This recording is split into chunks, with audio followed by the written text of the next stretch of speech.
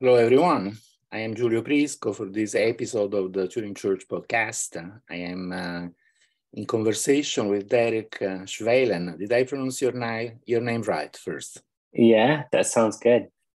Okay, so since I understand that you have a few interesting things to discuss, I'll just uh, give the floor to you right away.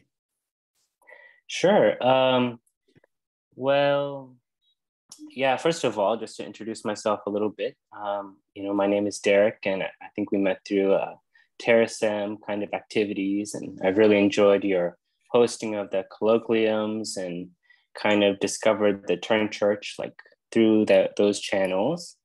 Um, yeah, and and I've enjoyed watching your like recent podcasts. Um, yeah, so first of all, I'd like to ask you like what is your inspiration been for starting these podcasts and and maybe what have you kind of um, what's your experience been so far with all these conversations with all these different people from a variety of backgrounds First, I have to say, all this uh, doing podcasts doesn't come very naturally to me. I am very much uh, in love with uh, the written word. In fact, I do enjoy writing much more. Uh, I started to I started to podcast because some time ago I realized that uh, for some reason that I'm really unable to understand. Many people like to listen more than reading, and uh, that um, again is a completely foreign thing to me. But you know uh, we are different people, and I understand that this format is more convenient uh, for many people, and then here I am. So since uh, yeah. I had a whole bunch of uh, people that I wanted to talk to in preparation uh, of uh, my next book, then I thought, okay, let's make this public so that also others can listen. and in parallel, you know, I have this idea of holding uh, periodic uh, Turing Church meetings.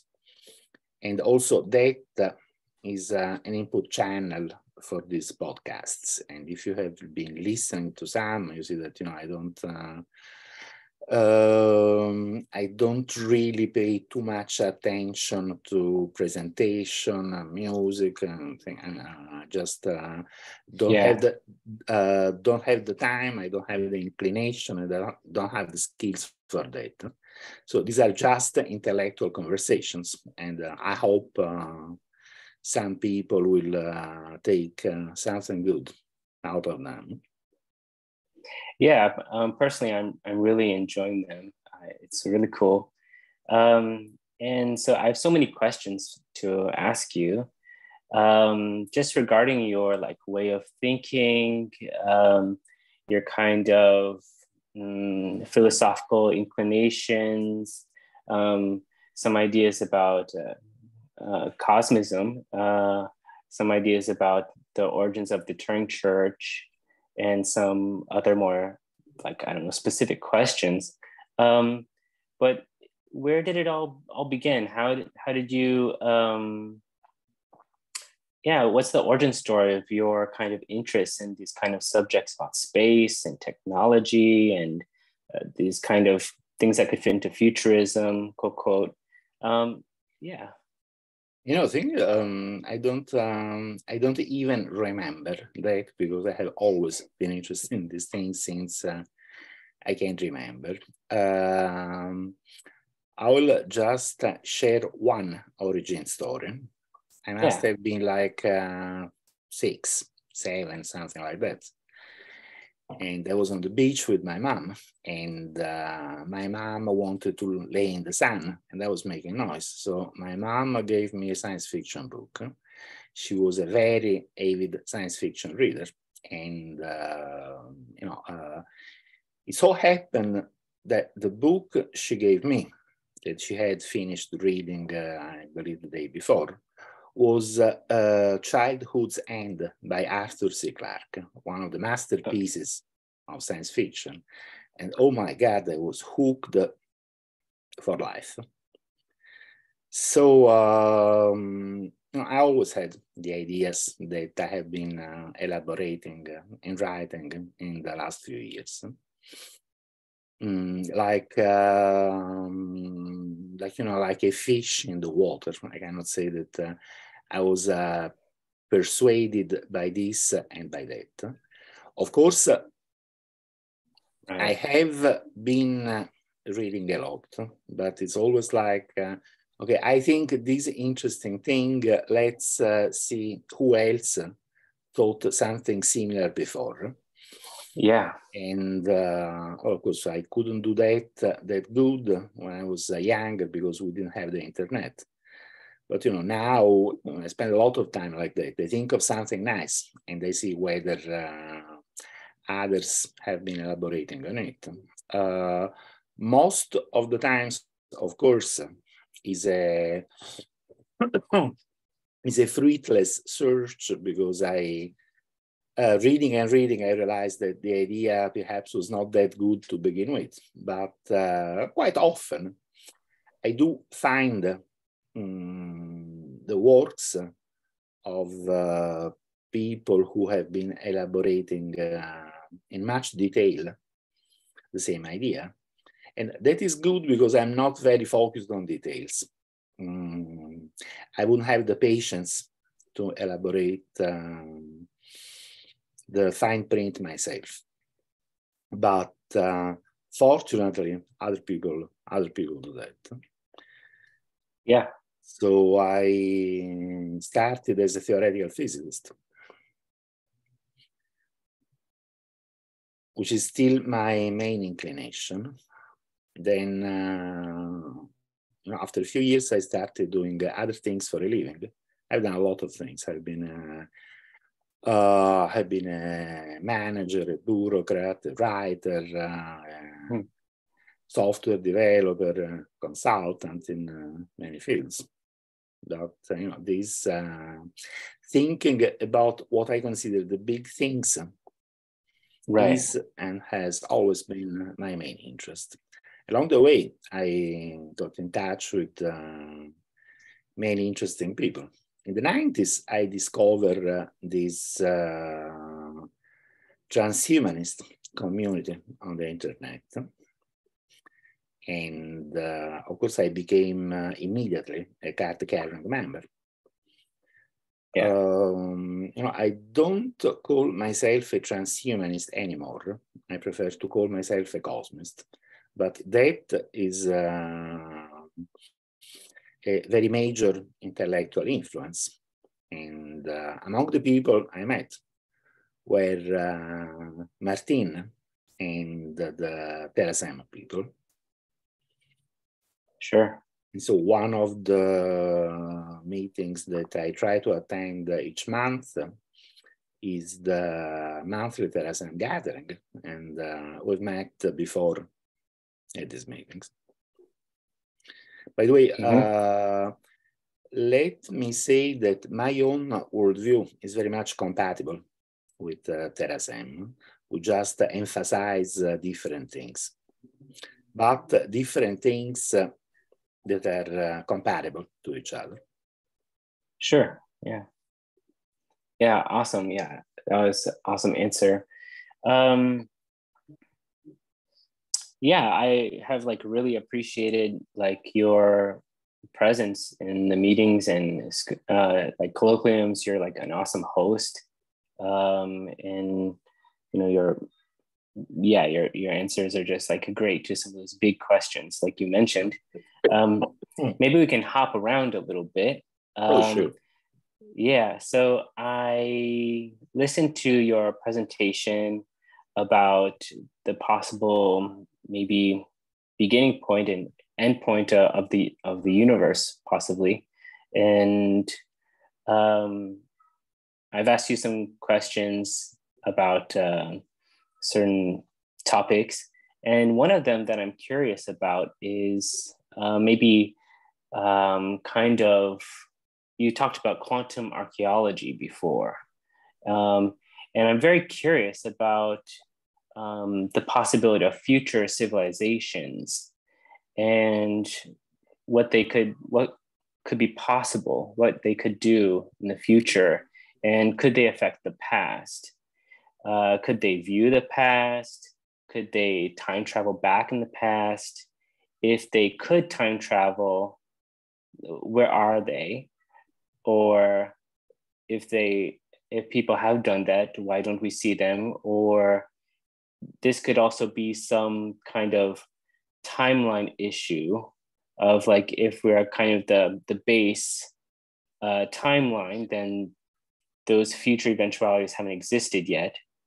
Uh, but if they were to exist, then why haven't we seen some evidences of that in the past? So, do you have any ideas about yeah, let's, kind of uh, general? yeah, let's question? start with uh, let's start with this last point. Uh, do you have children?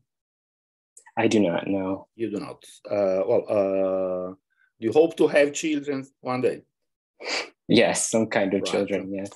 So uh, when you will have children, you will uh, experience something that uh, every parent has experienced, which is, uh, you know, sneaking in the living room on the night before uh, Christmas to leave the Santa Claus uh, presents to your kids.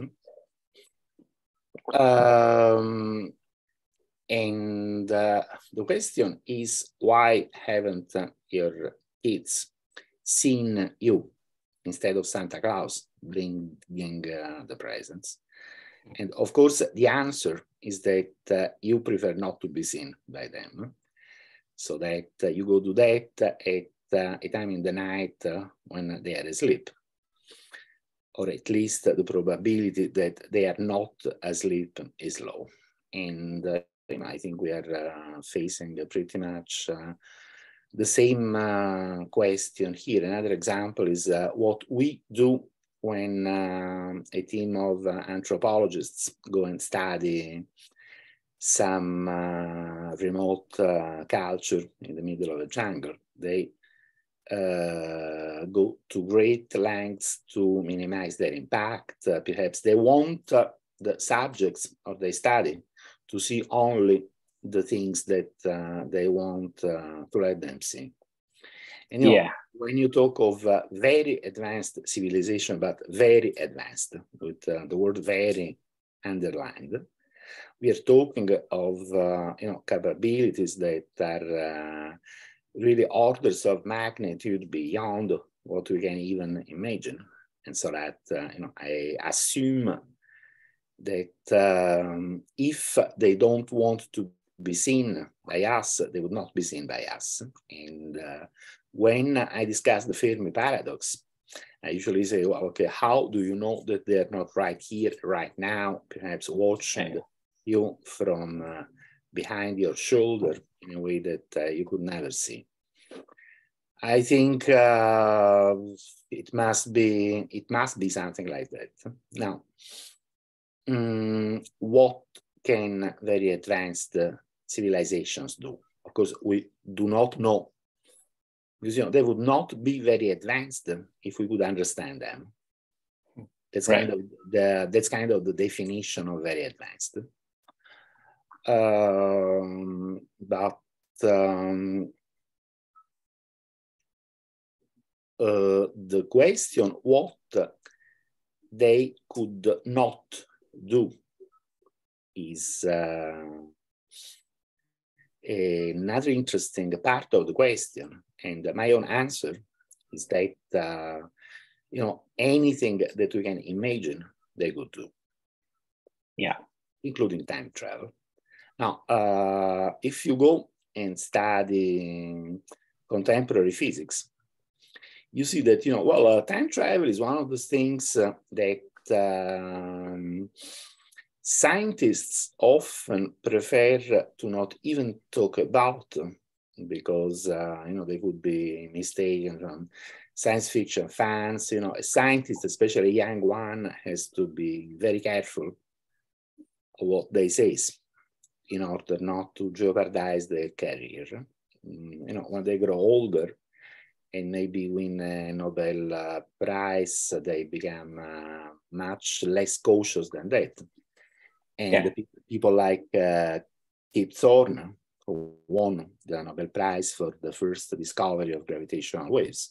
You know, he has written books about the possibility of time travel. Of course, he doesn't say, yes, time travel is possible, but, you know, he, uh, he says it with uh, many qualifications, of course, but what he says and what uh, many other contemporary scientists say is that what we know about how the universe works does not rule out the possibility to travel in time, even backwards.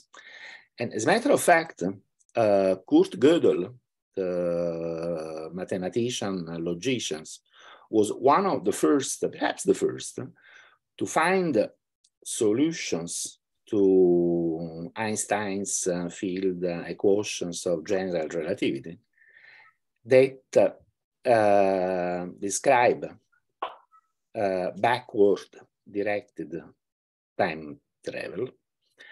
Uh, the solutions are correct. There are many solutions of this kind. Uh, things like wormholes connecting different places at different times are quite firm mathematical conclusion from uh, general relativity. And of course, uh, when we go to quantum physics, things become uh, much weirder and even more interesting than that. So on the basis of what I know at this moment, and on the basis of what I understand of uh, the work of uh, frontier uh, contemporary scientists, only thing I can say is that I cannot see any reason why future civilizations should not be able to travel in time. I think they will be. Uh, yes, I think they will be able to travel in time. And the answer to the question, why don't we see them, is what I just gave you. You know, Stephen Hawking uh, took the initiative to launch a party for uh, time uh, travelers. And of course, he announced that after the party. And he wrote about that. He said, well, okay, you know, on Saturday last week, I had a party for time travelers. I invited everyone. Of course, I sent the invitation on Monday the following week. And the fact that nobody came indicates that uh, at least uh, there are no time travelers here and now. But uh, you know, um, his conclusion is wrong because uh, you know if they didn't go, um, there is the possibility that they didn't go because uh, they didn't know that uh, the party was on, or maybe because there were no time travelers, but the other possibility is that they didn't go because they didn't want to go. And on the basis of what we know, there is no reason to rule entirely out this second possibility. So I think, yes, future uh, scientists will uh, be able to master the physics and the technology of time travel. Don't ask me how. Of course. Uh, I live at the beginning of the 21st century, and so that I don't know. But what I can say is that there are very promising indications that uh, in today's physics that show at least some mental pictures of um, how future civilizations could travel in time. What we can visualize and uh, understand intuitively at this moment is most likely wrong. So I do have uh, many yeah. mental pictures of time travel in my head, and I think they are all wrong. But I also think some future scientists will uh, find something much better than we can what we can imagine right now. Could it be some kind of case that, uh, like some future people wouldn't want to travel back to the past because it may jeopardize the future that they come from. It may change the timeline and may cause some detriment to their future. Um, we see some sci-fi um, movies and things like that where time travelers go back before uh, human civilization to not affect human human civilization. Um, and also another movie that comes to mind is like Interstellar, uh, where you know a future civilization um, like creates some kind of um, wormhole um, for uh, like Matthew McConaughey's character to go through. And somehow there's some paradox of he's communicating with himself uh, from the future to his past self, but the present self is receiving a message from his future self, which this future civilization has opened up this kind of uh, higher dimensions so he can be able to do that. So, yeah, what do you think about that kind of issue of uh, affecting the past, a future civilization not wanting to jeopardize their own timeline by affecting the past? Mm, let, or could it be a part of the story Well, let me um, first think about uh, what to say and in which order. Sure. Um, I would start saying that uh, traveling in time in the past and uh, doing something does not necessarily mean that uh, you change the future from uh, where you came. Mm, that would be the grandfather's paradox that you go back uh, to when your grandfather was a kid, you shoot him. So since your grandfather is dead, before having children, you cannot be here. And this is uh, yeah. the very typical. So the past is also their future if they go there. Right. But, uh, you know, um, this is uh, a conclusion of a way of thinking that um, is not necessarily entirely correct. I think in some cases it's wrong because, you know, there can be entirely self-consistent uh, solutions where uh, you go back in time, you do things, and history stays exactly the same until the moment in time you can uh, back from. Perhaps you don't even realize that, but it's kind of like uh, the universe conspires to keep uh, the unique, we are not yet talking of many timelines, to keep the unique timeline self-consistent. And uh, so that uh, in the case of the grandfather's paradox, uh, you know, you go back in time shoot your grandfather, but the gun doesn't work. Mm, okay, you can say that uh, there is a very low probability that uh, the gun doesn't work. Even, uh, you know, perhaps the gun is new, perhaps you have just uh, checked that the gun works. So, uh, okay, it was done. You shoot your grandfather again, and the gun doesn't work again. Sometimes you give up and go back. This uh, seems like a conspiracy based on a, an event of uh, very low probability. But, uh, you know, there is this very interesting book by Robert Forward that I recommend that you read if you are interested in these things. The title of the book is uh, Indistinguishable from Magic. He has also written a science fiction novel based on uh, his idea on time travel, which is called Time Master. And here the idea is that uh, things that have uh, a very low probability can become very highly probable in uh, presence of the closed uh, time-like uh, trajectories that enable time travel. So you shoot your grandfather many times and the gun never works. That would be something that happens with a very low probability in most cases. But in this particular case, is something that happens with probability one, because you know the gun doesn't work because it cannot work, and it cannot work because if it does work, then you could not be firing it. And uh, yeah. this uh, is a completely self-consistent solution. Mm, I mean, mm, uh, you go back to the past, you do things, but you don't change the timeline. In passing, before saying something else, let me mention another time uh, travel uh, paradox, which is the information paradox, which uh, I like to formulate in this way.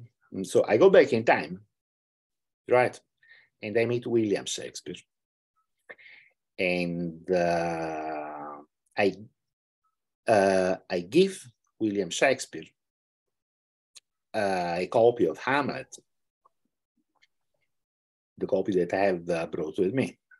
And uh, mm-hmm. what does he do? He copies the text and he publishes uh, Hamlet himself. And so that is Hamlet. So the question is who wrote Hamlet? Uh, did I write it? No, I didn't write it because I read it on a book of Shakespeare. Did Shakespeare write it? No, because he copied it from a book that I gave to him. So this looks like a paradox, but you know, if you go to watch what happens in the loop, is entirely self-consistent. Uh, consistency is not broken anywhere. So that, you know, the information paradox uh, is not really a paradox, in my opinion. And, uh, you know, who wrote Hamlet? In uh, this scenario, the universe wrote Hamlet. Hamlet always existed. And uh, it came uh, to be in our reality in this very convoluted, self-consistent time loop way. And I do suspect that, uh, you know, our universe, our reality is full of self-consistent time loops. Uh, the fabric of reality is really made of these loops. And uh, here again, I can just say it in this uh, poetic way, but I'm sure that uh, future scientists will uh, understand these things much better than me. And there are already some indications. Um, you know, there is the, let's go back to Kip Thorne. He and some collaborators made uh, this um, series of uh, Gedanken experiments with uh, billiard balls going into wormholes. Thing is that, you know, you have uh, a billiard ball that uh, enters one of the two mouths of a wormholes and comes out of the other mouth from here to here at an earlier time.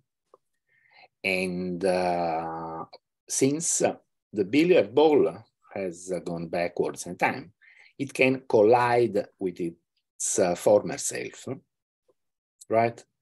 So here you have the balls that went through here, but it comes down from here, hits its former self, and it uh, knocks it uh, on a path where it would not enter the wormhole. That's the this version of the grandfather's paradox.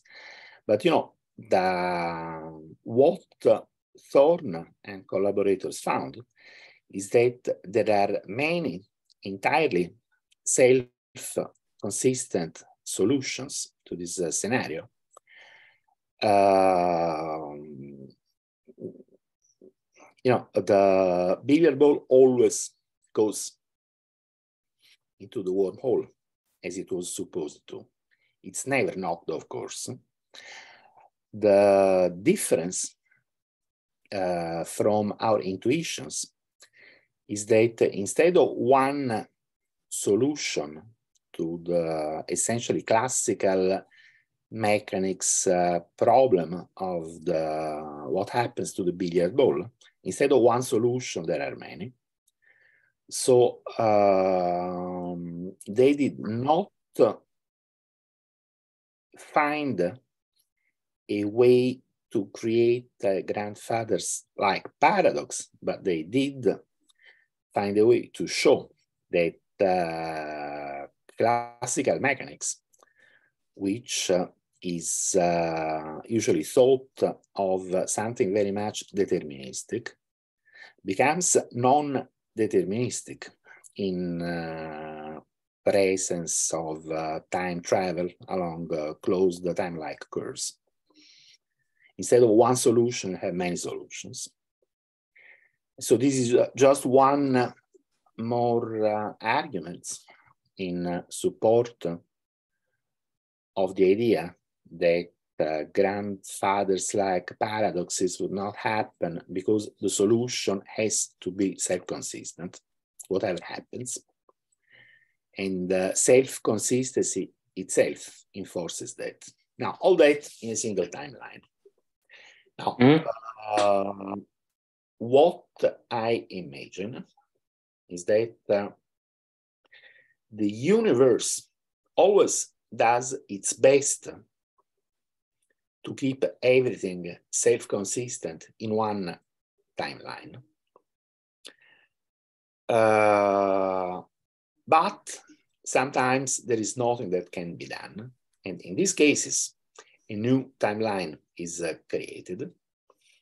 And so we fall back to the standard solution to the grandfather uh, paradox, which is that of saying that, well, okay, you go and shoot your grandfather, your grandfather dies, but uh, it's no big deal because uh, this happens in another timeline, which is not the same timeline in which you went back in time to shoot your grandfather. So what I think is that uh, nature, the universe, does a combination of these two things to enforce uh, self-consistency in uh, time as long as it can be enforced and also creating new timelines when uh, there is nothing else to do. Yeah, that, that's awesome. Yeah, and um, I was thinking too that in the future, um, a civilization that has like time travel capabilities, it may be like highly regulated, um, and uh, also by by that civilization. And I think sometimes in movies we we like to see like humans doing the time traveling as we kind of know them at this time on Earth, where in reality, uh, by the time that that could be figured out, uh, people may not um, be as the way we are now. More of a transhumanist kind of um, thing, right? Integration with digital intelligence and um, yeah, um, just different, right? Um, different form, different state, um, and that might scare uh, some past civilizations as well to inter- to encounter these kind of people. Not that they might be afraid, right? Um, in some sense. Um, so yeah, I, have thought about that too. Um, yeah. What do you think? But you know, here the Santa Claus argument applies. If they don't want to be seen, they will uh, they would find a way not to be seen. Mm-hmm. Yeah, yeah. Interesting. Yeah. In hmm. fact, uh, you know, they don't right. That, that makes sense. Anything, yes. They don't even have to do anything explicit not to be seen. Because you know, if you imagine how future very advanced humans could could look like, I mean, they uh, uh, is not even necessary that they have a physical body that we can see. Sure. You know, as you know, since uh, Arthur Clarke wrote in uh, 2001 the novel that uh, you know the monolith maker, where energy creator without a physical body. There has been a lot of speculation of you know things like uh, thinking uh, blobs of radiation and quantum fields that are entirely undetectable from us. And uh, that's why I say, you know, uh, one of them could be watching us from uh, behind my shoulder right now. Hmm. And we would I think about that, that. too often. Yes. um, yeah, that's a very good point. Um, yeah, that, that was very beautiful. Um, okay, so kind of, I'll just keep jumping around. So you've talked about Arthur C. Clarke, and um, how can today we appreciate some of these classical writings of of science fiction for people that are new to some of these you know great works? What can we maybe glean from them today, and and um, kind of think about life? Um, you know, I feel like that's not talked about much, especially if you watch YouTube or something like that. Um, there's movie reviews and series reviews, and um, yeah, I I myself have not read a lot of like more like you could say classic science fiction, um, but I would like to, and I would like to get a sense of um, your appreciation for them and why you may think they're relevant still today. Yeah, you know, I have uh, grown up reading uh, good science fiction. Um, I started when I was five and never, never stopped. And I will never stop. So uh, I have a quite good knowledge of uh, classic uh, uh, vintage science fiction. Um, because you, know, you couldn't have this knowledge because you're younger than me. But you know, there are some writers who are very much worth reading. And of course, Arthur Clarke is one, and uh, then uh, you know mm, Robert Heinlein, Heinlein yeah. Clifford Simak. Uh, there are many good writers of uh, classic uh, vintage science fiction. Or that means you know science fiction written uh, until the seventies, I'd say. Now, the thing is, um, if you read only vintage science fiction, you have the impression uh, that you know, it's much too simple for today's world. Uh, because in the meantime, uh, literature has developed. So um, the impression that you may have reading uh, vintage science fiction is, you know, yes, the science is interesting and the sociological speculations are also interesting, but the human characters are very much underdeveloped. This is one of the flaws of uh, vintage science fiction. Uh, you know, in this respect, today's uh, literature is much more interesting. Uh, I think there are some uh, young writers who combine the best of both worlds. I mean, their uh, human story very interesting with the kind of people that you see around you today, not 50 years ago, but at the same time are able to evoke uh, this uh, cosmic sense of wonder of the best uh, vintage science fiction. There are not many of them, but there are some. For example, uh, there is this uh, science fiction writer who is also a YouTube star called Lindsay Ellis. She has, she must be uh, your age, I guess, between 30, 35, something like that. Mm -hmm. She mm-hmm. has written two very good novels called the first is Axiom's End, the second was called The Truth of the Divine. You know, they're very good, very much in line with the kind of sensibilities that uh, we see around us today. But, you know, the sense of uh, absolute wonder of the greatest science fiction is there. I look very much for the forward to the third book of the series. And you know, there are not many young science fiction writers that I really appreciate, but there are some. This is uh, an example, and uh, there are others too. You know, combining the two things. You know, um, in some sense, our world today is much more interesting than uh, the world where I was a kid. Uh, but we might have the impression that uh, something has been also lost. Uh, think, for example, of the space program. Now, we were mm -hmm. so, so excited with the Apollo program uh, in the 60s. I was very young, but we all imagined, you know, cities on the moon and cities on Mars. Right. Uh, all these things, uh, all those things did not materialize. Now, when you look around you, you see that people um, are mostly interested in other things.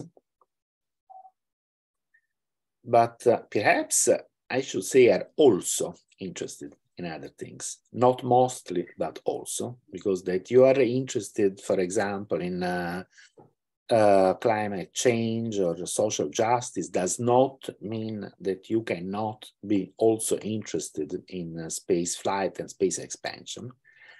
Yeah. So since uh, you know, I like um, I like to be optimistic. So uh, you know, I keep asking myself, okay, why not both?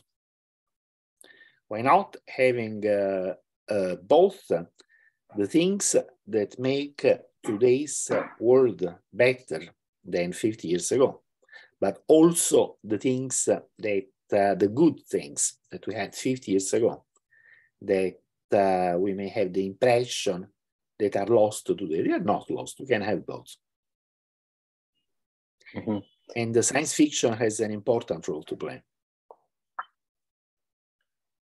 Yeah, definitely. Um, I think more of my influences have been some series. Um, I mean, I grew up watching like Stargate, right? The Stargate, SG1, Stargate Atlantis, these kind of series, or um, the Battlestar Galactica remake. That was really great.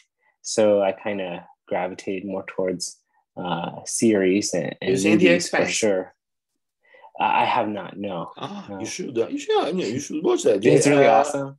Yeah, The Expanse is good. The Expanse is very good. Mm-hmm. Yeah, and uh, I mean, I just was no, you, know you have, watching. Uh, yeah. You have my books. Yes, I do actually. Yeah. Um, the in particular the one called Futurist Spaceflight Meditations. Mm-hmm. I use uh, the Expanse to illustrate uh, future uh, um, uh, possibilities for future interplanetary civilizations. Not yet interstellar, you know, expanse until when uh, the proto-molecule builds the worm. Oh, I shouldn't give you spoilers if you haven't but, sure. um, you know, it's a very well done description of a realistic future human civilization in social system in the in the solar system mm-hmm. I love yeah it. awesome yeah that's that's awesome yeah um and i think definitely one of my favorite movies of all time is you know alien um the classic like 19 i think 79 alien um big fan um no, I didn't yeah. really like it, but you mm-hmm. know, when uh, you watch, I love the atmosphere, 2001, the stylistic, yeah. Yeah, I'm uh, too much spoiled for that. You know, when you watch uh, 2001 and you are uh, 10 years old, uh, wow. you find uh, very difficult to really appreciate a science fiction yeah. movie for life. I mean, right, it's a high bar yeah, we had so, high a bar that um, science fiction for uh, film or television, I do like something, for example, The Expanse, but most of what I see, I don't like at all because uh, it's uh, sure. very much below my high bar. Yeah, lots of cheesy stuff these days. Um, yeah, so kind of to flow into an, another area, but connected still. Um, you know, recently there's been, you know, a lot of hype about like chat GP, GPT-3, 3.5, also some image generation like Midjourney or DALL-E, DALL-E 2. Also there's a stable diffusion, uh, which is an open source version of these. Um, and so I've been, you know, experimenting with these and, and, and doing, you know, writing on ChatGPT and uh, having a lot of fun with that and also doing image generation. And I think, you know, it's not long before we actually do some, you know, video uh, generations as well. I mean, maybe in 2003, I think. Um, and mean, so uh, be, You mean uh, 2030? 2003 was 20 years ago. uh, 2023, yeah, this year. Ah, ah, yeah. As of now yeah yeah. Uh, and so i think it's not soon before uh, you know there'll be movies series um, pretty much whatever you want to watch and whatever creative creative thing you can imagine. Uh, i think uh, you'll be able to to watch it. Um, you know and this is you know kind of very interesting development. Um, and it's very cool to see like ai have some role in creativity and art and to see humans respond to that. Uh, you know a lot of people have thought like well human, human beings like on earth like the imagination has been like maybe our territory or something like that. But to see su- such generations in, in even though it's kind of more um, narrow AI or something like that, uh, it's still really amazing. And, and when I interact with ChatGPT, uh, GPT-3 or uh, Midjourney or Stable Diffusion, it feels like a conversation. It feels like an interaction because I'm asking questions. I'm I'm kind of giving prompts to generate images, and and then I'm getting some communication back um, you know, some data, some information. So there's some interaction going on. Um, yeah, what have your thoughts been about these recent developments? And do you have any thoughts about creativity or some experiences that you would like to have or any ideas? Mm, you know, I'm pretty much uh, persuaded that uh, you know, these uh, things like ChatGPT or uh, DALL-E or Midjourney uh, are very close to passing the Turing test, which is the standard uh, definition until now of artificial intelligence, meaning that you know if it uh, interacts with you in a way that uh, you cannot distinguish from a human, that means that uh, the artificial intelligence is working. So I think, well, it's arguably, you know, ChatGPT passes the Turing test now. Uh, I don't think so because it's still possible, I understand, uh, to trick it yeah. into interacting in a way that is not human. But, uh, you know, this will be fixed in the next iteration, and the next iteration will be even better. So I don't have any doubt that uh, AI systems will uh, not only pass the Turing test, but also become uh, able to do most of what we do much better than us.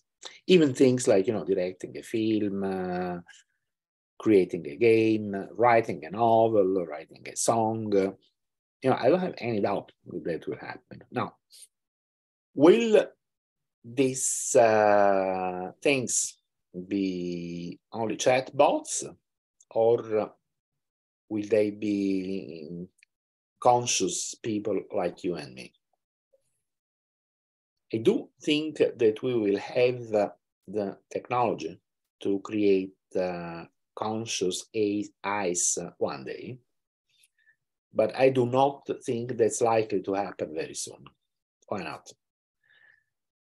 Because uh, you know, I still think there is a fundamental qualitative difference between uh, a person and a computer that cannot be overcome using uh, conventional computer technology of the kind that uh, we have today.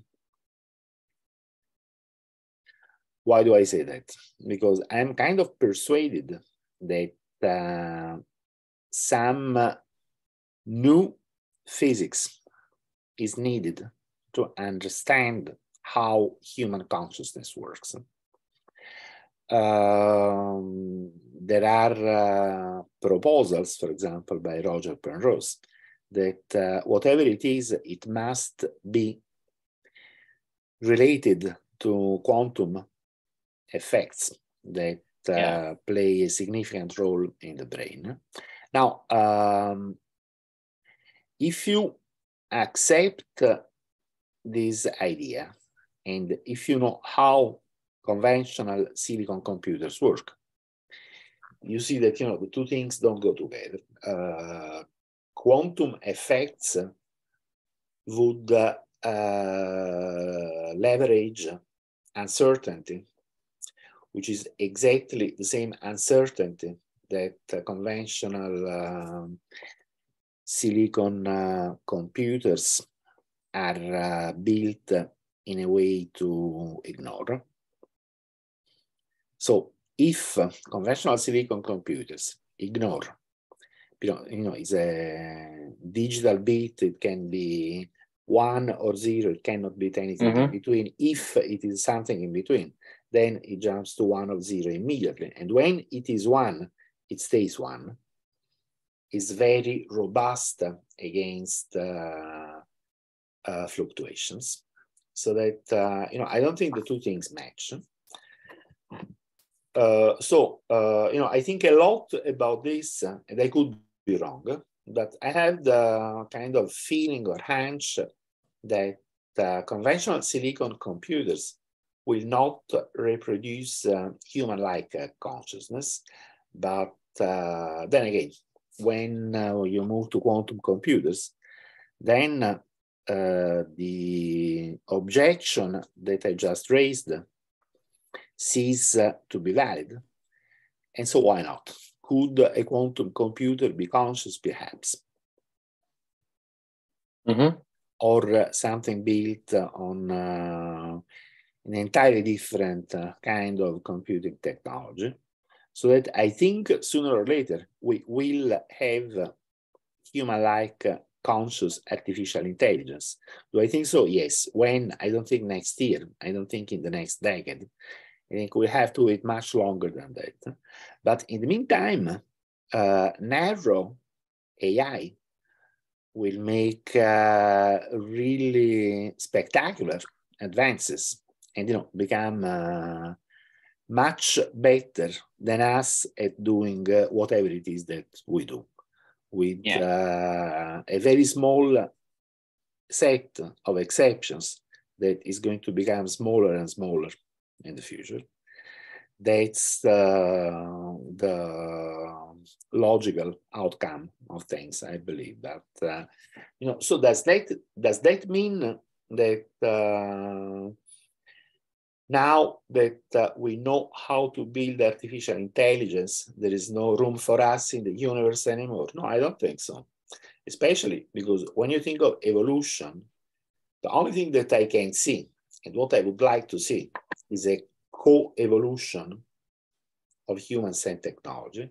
At some point, we will build intelligent technology, but we will also uh, we will also merge with our intelligent yeah. technology and we will evolve together. At some point, uh, you know, mm, for a future person living uh, sometime in the 22nd century, the question is this a natural human or a machine will not only be unanswerable, but uh, also meaningless, perhaps. Yeah. Right it definitely will make sense at that time. Um, yeah it will. yeah um it's so interesting because um sometimes i watch these uh, text to image generations and uh, some people create animations of them and when i watch these animations of, of these generations there's this almost psychedelic sense to them or nature to them or this feeling that a human did not make these images. It's just too um, too dynamic too much information too abstract too diverse. Um, and and that's a very interesting um, experience to have to relate to this kind of art or this imagery or this video.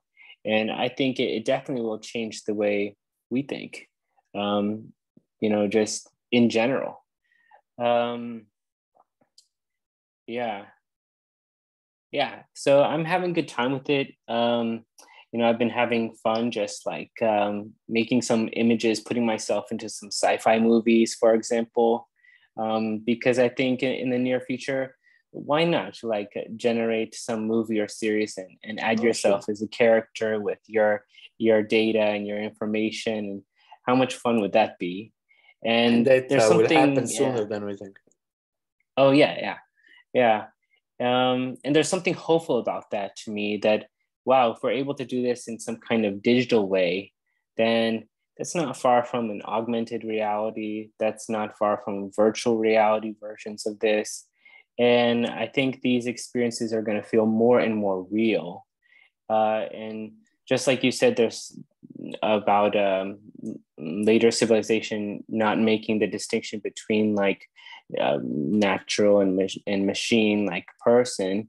Um, quote quote um, i think you know it'll be the same too i think we'll both the distinction between the, this digital experience and the this biological physical experience will become more integrated and merged as well and so yeah it's very exciting to see you know the beginnings of this. Yeah.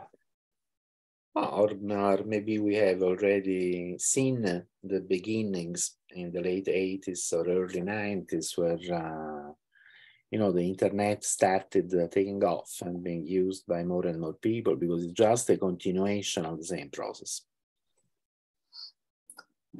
Yeah. Yeah i've been thinking about that too mm, cool. Yeah. And uh, like you know in fact uh, speaking of this this uh, is evolution. And uh, I don't like to make uh, a distinction between natural evolution and uh, uh technology driven evolution because you know, I think it's uh, exactly the same. We uh, nature makes us, we make machines, so nature makes machines.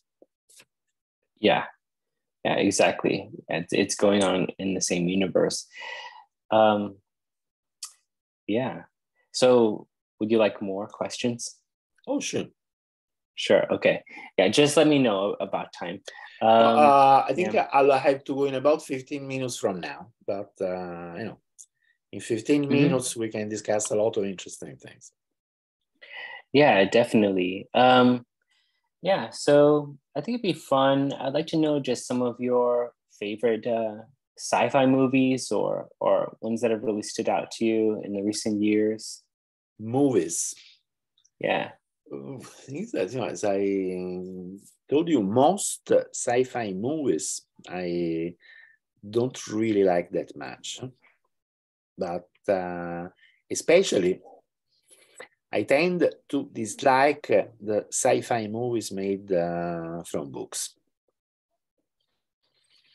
For mm-hmm. example, mm-hmm. uh, there is these three great novels by Richard Morgan. The first is called Altered Carbon. They have been made into a TV show, which is also called Altered Carbon, which, uh, in my opinion, right. Yeah, in my opinion, is horrible. And uh, sure, perhaps not horrible, but uh, the novels were so incredibly much better Then yeah. I think they call them sleeves or something like that. Yeah, yeah, yeah. That's for uh, someone who had, has read the novel. The show is unwatchable, and since uh, I do read uh, a lot of science fiction before they make it into a movie, uh, it's very difficult for me to appreciate the movie. What uh, did I like? I told you that I liked uh, The Expanse. Mm. Yeah. Interstellar, mm, I mostly liked it. Uh, I liked Her. mm-hmm. That was great. Movie about artificial intelligence of a few years ago. Transcendence, yeah, I also like that one. What yeah. else? Um,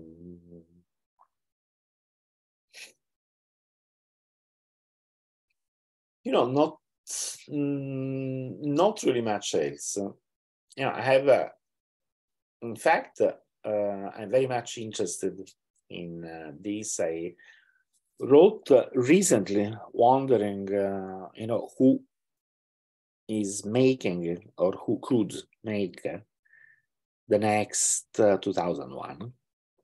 Because, you know, that film mm-hmm. had um, an incredibly huge psychological impact on me and so many other people of my generation. If you think, uh, you know, all the um, interesting things that have happened in technology and science in the, next, in the last few decades, you know, the development of internet, biotechnology, space, uh, you know, I'm uh, willing to bet that very many of the creators of uh, today's world became so interested, got you know this uh, burning interest for science and technology watching uh, 2001. So we would really need a contemporary version of 2001. Uh, perhaps you know is um, also you know it's very difficult to make a good book into a good film. They're mm-hmm. uh, two completely different things. Uh, I know of very few examples where a filmmaker has uh, really followed the novel that uh, the film was based upon. In some cases, it's just impossible. Uh, so I think the new 2001 perhaps should be made for film first, and then maybe adapted for novel or uh, uh, even just a film. It should be good. It should be something so good that uh, stimulates the new generation of people younger than you to mm-hmm. Uh, you know uh, try to do what we have been trying to do and hopefully with better uh, results.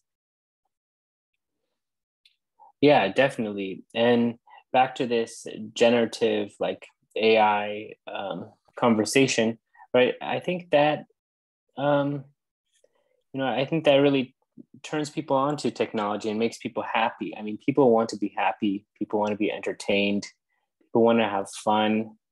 And um, what better way than in, than great fiction? and maybe you know some AIs are going to be helping yeah, make that uh, fiction. So uh, yeah. I, um, you know, thinking aloud, I just had this idea that uh, yeah. you know, uh, so you ask, uh, why don't you write this novel yourself? And uh, you know, of course, I would like to, but I don't have that kind of creativity. Mm not enough creativity to write a good novel. The thing is that I have not only been reading science fiction, uh, reading a lot of literature all genres. So I'm, uh, I'm uh, I could not write something as good as uh, the things that I read that I really liked. But uh, you know, why don't I or someone write a short synopsis of what the next 2001 could be? And give it as input to chat GPT or something like that to write a full novel or a film script. That would be a very cool project, wouldn't it? Yeah, yeah, that's what I'm thinking too. And and I think that um, you know writing these prompts is is a real skill, and I oh, think sure. it it'll become like a skill. And I think for people that have kids now, I mean, you know, giving them homework to write great prompts into a chat mm. gpt yeah. or uh, into an image generator that's really cool yeah you can um, also ask uh, chat gpt to imitate the, the style of a particular writer mm-hmm. yeah and it's this interesting experience because um, i've been thinking about you know what what makes me unique as a person my personality my thoughts if uh, probably a, a, chat, you know, chat bot like Chat GPT can just output that information, you know, uh, based on my data. Uh, that's maybe another conversation, um, a philosophical one. But um, it, it's it's just a very. I think it's more transformative than people are aware of right now. Um, eventually, yeah. eventually, yes. I think. Well, this is a still a very early and very young iteration of these technologies. But you know, uh, Chat GPT and uh, Midjourney, I maybe understand that that uh, is going to be a GPT-4 next year, and then perhaps the following year will be GPT-5. Or at some point, one of these GPTs will uh, really be transformative. And uh, yes, I do expect that uh, these things will become uh, pervasive and uh, really have an impact. Mm. I don't uh, really play much with, uh, I mean, I have played with uh, ChatGPT, of course, but um, not as much as other people. I do read the reports of other people, so and uh, yes, this is uh, very certainly a technology to watch. Yeah, yeah, and and maybe you know, final question or getting close to it. Um, in general, like, what have you been thinking about these days? What has occupied your your thought life in terms of uh, science, technology, space, humanity? What's your um, what's your where's your desires leading you these days? Hmm, see, besides uh, the normal desires of everyone, which are always the most important thing, meaning that you know, yes. the important thing is that my daughter and my wife and my dog are in good health and happy enough. I also want to be good health and happy myself. I want to eat something good tonight. You know, apart from these things, which are common to us all, yeah, uh, you know, I'm interested in building uh, bridges between uh, the scientific worldview and uh, what we could call the religious worldview, or perhaps the mystical worldview. Mm, you know, if you think of religion, you are thinking of something that uh, over the centuries has done a lot of good to people. It has also done bad things. It has also done very bad things, but it has also done things which are essential to the deep well-being, deep inside of everyone. And for example, all the most people of uh, previous generations, like, you know, our grandfathers. They were really persuaded deep down into their bones that, uh, mm-hmm. you know, most of the promises of uh, religions were uh, true, and in particular, the promise of some kind, some form of afterlife or resurrection, that they would see the people they loved again after that. You know, uh, not allowing oneself oneself to believe this is uh, something really paralyzing, I believe. Yeah. If I didn't have uh, these hopes, I don't. I wouldn't have any reason to get out of bed in the morning. I wouldn't have any reason to try to do some little thing every day to make the world a better place. You know, allowing yourself to believe in some kind of afterlife is essential for well-being. And this has been the force of religion for so many centuries to offer people a certainty in that. Now, now we, I mean, uh, we people in the modern world, the 20th and 21st century, have kind of uh, lost our capacity to allow ourselves to contemplate uh, religious like eschatology with afterlife. Because uh, on the one hand, we know too much science, and on the other hand, we don't understand our science enough. Because if you really look at what uh, science says, you find that it is not incompatible with hope in uh, afterlife or other uh, promises of religion at all. Not only it is not incompatible, but if uh, you really try to understand science as far as we can understand things today, you realize that you know uh, it's not going to, science is not going to explain you how all these things work, not yet.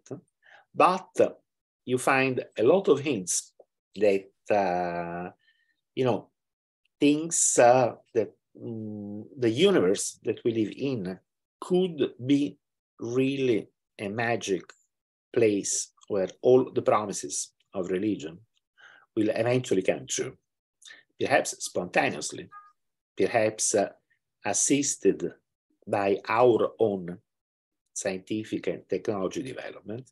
And you mentioned uh, quantum archaeology at the beginning, which is a portmanteau name that we are using for hypothetical future technology able to go back into the past, or at least to acquire enough information from the past to resurrect uh, the dead in the present which if you think of it is uh, you know a, a, resurrection scenario that uh, for uh, what is really important is equivalent to that offered by religion. And uh, this is what uh, I'm really interested in. This is what I want to do. I want to offer people hope in an afterlife. And uh, the happiness that comes with it. Of course, it's not a work that I can do all myself, but uh, I try to give uh, some little contribution to that. Mm-hmm. Yeah, um, hmm.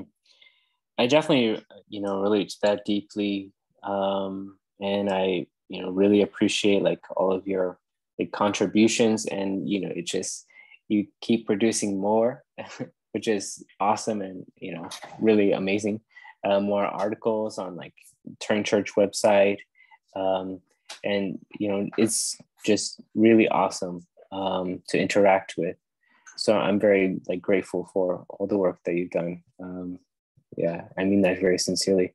Um, and i'm very grateful to you for saying that because you know one um, needs uh, to know that uh, what one does uh, has a little impact. Perhaps if I give you something uh, beautiful to hope in, or at least something interesting to think about, then uh, I have been using my time well. Mm-hmm. Yeah, and I think one thing that really motivates me is that um, if I if I if there is hope, if there's a possibility for hope, then I have hope. I have hope in having hope. Um, there's a chance, right? Um, so yeah, I'm with you, and I'm excited to see like you know, what the whole what the future holds for us and and the development of all these things. And you know i hope that we'll gain more insights over time. Um yeah it's just beautiful experience and i'm really happy to, share with you. Yeah. Well thank you so much. I will have to go in a little while but let's stay in touch. Do, uh, will i see you in a few days at the terasem meeting? Uh yeah of course I'll be there. That's great. And uh, thank you very much for joining me today.